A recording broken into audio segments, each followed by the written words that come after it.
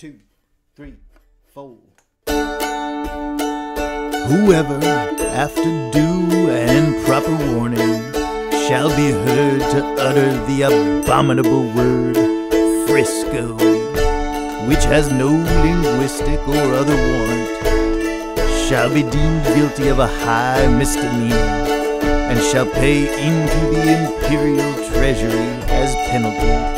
sum of twenty-five dollars. Edict of 1872. Norton the First, Emperor of these United States and Protector of Mexico.